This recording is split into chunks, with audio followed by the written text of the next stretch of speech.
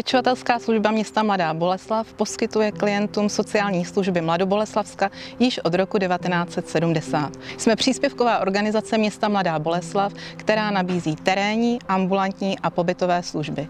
Konkrétně se jedná o pečovatelskou službu, osobní asistenci, denní stacionář, odlehčovací služby a tísňovou péči. Skupina našich klientů jsou převážně lidé s chronickým onemocněním, se zdravotním postižením a lidé v seniorském věku. Naše péče je komplexní, služby poskytujeme individuálně tak, aby klienti zůstali co nejdéle ve svém přirozeném prostředí a co nejvíce se odálila nutnost umístit klienta do pobytového zařízení.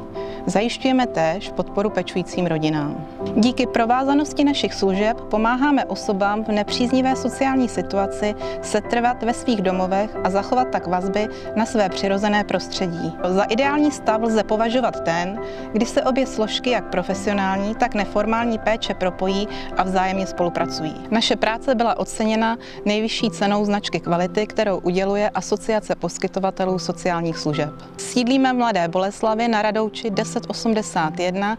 Více informací je možno dohledat na našich webových stránkách www.psmb.cz